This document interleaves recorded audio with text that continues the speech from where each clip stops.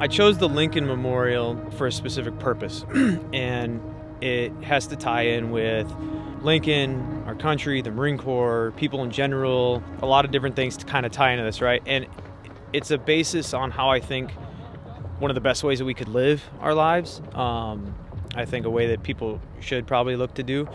But looking back at Lincoln, what, what, what he did, what he did for our country, the biggest things that made him a great leader was that, you know, he, he got people together under a common goal to accomplish a common task, which was, you know, there's many different things, but um, to unite our country because we were split at the time, right? And he did this many different ways. You know, he was out um, with his troops. He would do work. He would put in the right effort. He would aim for the bottom line, and he, he brought common goals together. So, thinking back, you know, what other ways have done that? Who else has done that that's built something great, right? And I can say take it all the way back to like the Spartans, right? Everyone says the Spartans were the largest military society ever, right? They put themselves under a common goal. They worked hard. They weren't afraid to admit their faults and work on them. And they bonded. They made a bond with their people, right? And that's what made them so phenomenal. You know, they fell apart for other various reasons, but it's still undisputed today on what it is they did, how they made that teamwork together, how they made that bond so strong and unbreakable in their military, uh, in their military uh, bound country.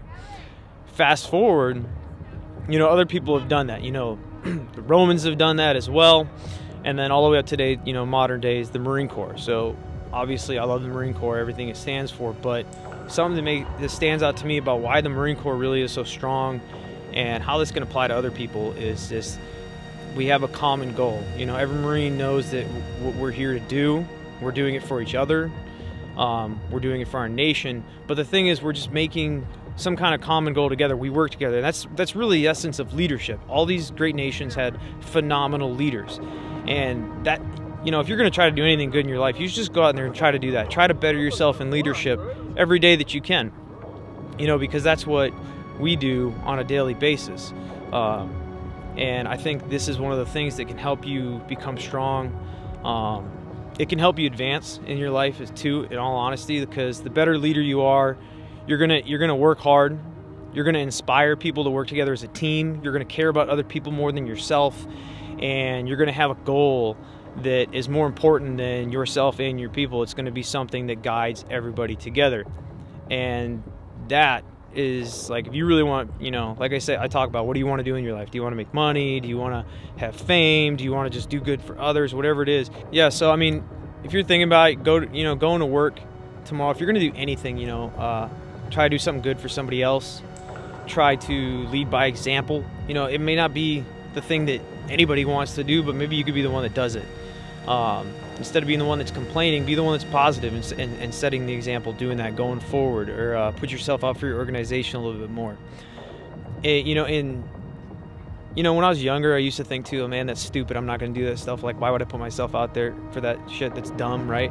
But when you when I look back at it now, hindsight 2020, those little actions of doing things like that make a huge difference in everyone else's life. They won't they won't even ever probably tell you that it did. They won't probably show you that it ever did, but you'd be surprised how it inspires them, how it impacts other people to have them do more.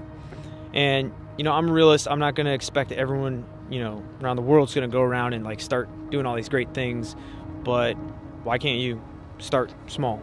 Do something good, you know, pay it forward, help somebody out, look at the. If you have people that work for you, why not do something for them over yourself?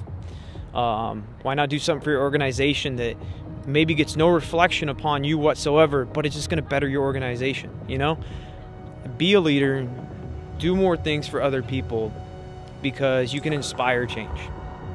No matter what you think, whatever level it is, if more people try to inspire change every day, like honestly, things are going to be better. And if you even just want to put it at a selfish standpoint, the better leader you are, the more inspirational you are, the harder you work, you're going to have a better life. You're going to feel better. You're going to make more money. Everything in your life is going to be better if you work on your leadership.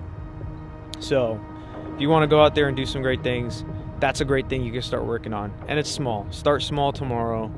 Do some work because honestly, if you're not going to work on being a better leader, helping other people and doing good things, like you probably just suck.